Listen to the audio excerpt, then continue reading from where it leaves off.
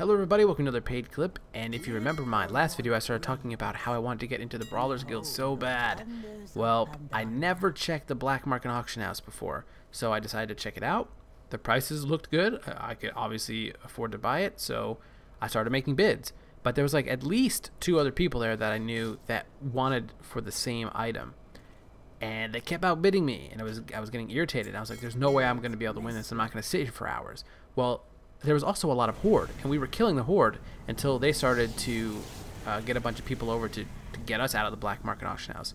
So I decided to use this opportunity in my advantage.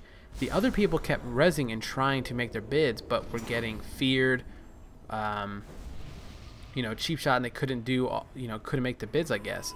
So what I was doing was, while they were all resing and, and getting killed by the horde, I stayed dead, and I used like the very last minute to snipe the bid for the blood-soaked invitation, and I won it.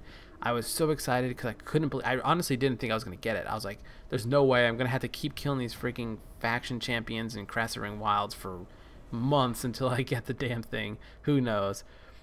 So I just want to make this video to let you guys know that I won it and that I was excited. And uh, I'm gonna post a video on tips on how to beat the you know faction champion mobs in Krasarang Wild. So if you're interested in that, uh, that'll be up probably tomorrow. So thank you again, guys, and I'll see you next time. Peace out.